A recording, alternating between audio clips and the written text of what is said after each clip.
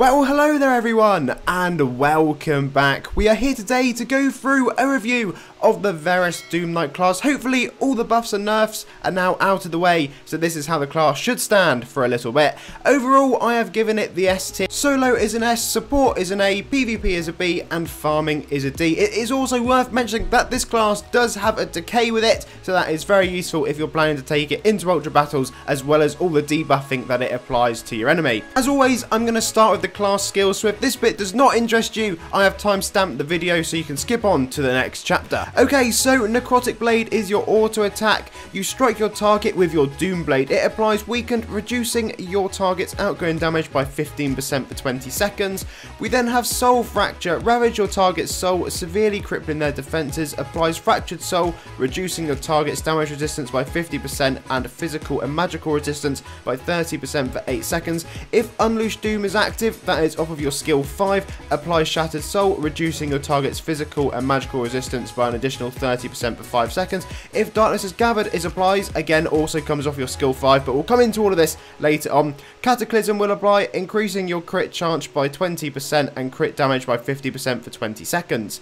Then we have a Life Carve. So carve into your target, draining life from them and applying Lingering Darkness, a damage over time for 6 seconds. If Unleashed Doom is active, applies Necrotic Warmth, restoring your HP over time for 5 seconds. If Darkness is gathered, applies Veil of Darkness, increasing your damage resistance by 50% for 20 seconds. Skill 4 is Doom Spikes, applies Spiked, reducing your target's haste and dodge by 15% for 8 seconds, can't miss. If Unleashed Doom is active, applies Skewered, reducing your target's haste and dodge by additional 15% for 5 seconds while also stunning them for 1 second.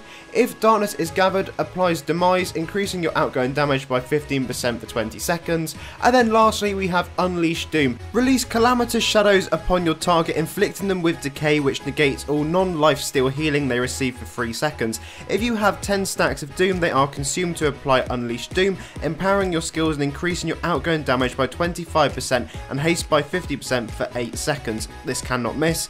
If Unleash Doom Doom is activated or is already active, you gather Darkness, empowering the next skill you use except Necrotic Blade with an additional effect. Let us begin then with looking at the base class. So those of you who do not have Forge can expect the class to perform in this sort of way, especially when you're going along soloing. The combo you want to use is 2345, 234, 2345, and then you're ending on 234, 2354. So the reason you want to be using that very specific combo is due to the Doom mechanic. If you look at the auras underneath my name, you'll see the far right hand side one is stacking up quite quickly. That is the stacks of Doom. As soon as you get to 10 stacks of Doom, skill 5 is going to consume them and that is when you start applying your additional effects. Which effect however will apply is down to what you press after skill 5 has consumed those stacks. If you press 2 first, you'll be using your Soul Fracture skill which is all about debuffing your target. If you were to press skill 3 which is Life Carve, what you'll be doing then is getting your restoring your HP over 5 seconds, that essentially be your heal.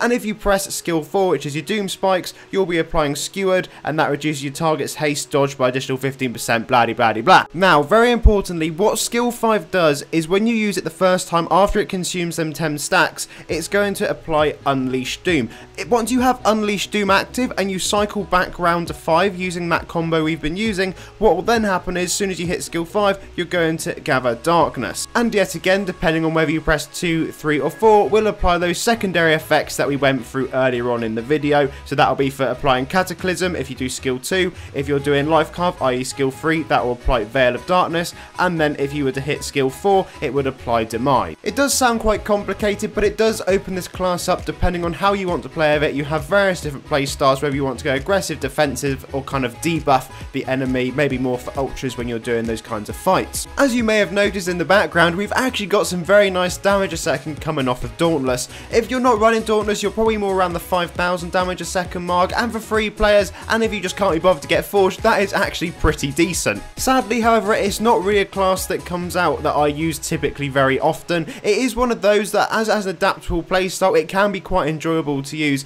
and it is versatile in loads of different situations. As we said earlier, thanks to having a decay actually on skill skill 5 with this class, and also having the ability to quite strongly debuff enemies, it does make it playable in Ultras. Whilst when we were going through the combo for this earlier, it does seem quite complicated to use, it's not actually. In all truth, you can just go through an L spammo with this class if you so choose, but it may just become slightly more temperamental for quite how it's going to go, whether you're actually going to get your heal applied, for example, but to be quite honest with you, it doesn't matter all that much. As we said earlier, I put this one into the S tier. I and ahed it's actually going to be more of an A star type class, purely down to how the base class went, but then the more I used it, the more I actually started to enjoy it, and I thought, you know what, with the support elements we've got on there, having a decay, it's actually pretty decent. Farming with this class is essentially irrelevant, it's a single targeter, so I wouldn't even bother. Moving on to PvP, which is actually quite an interesting one. When you come up against Frost Spirit Reaver, as you'll see in a minute, you will lose. It just seems to happen. Frost Spirit Reaver is of course ridiculously good at PvP,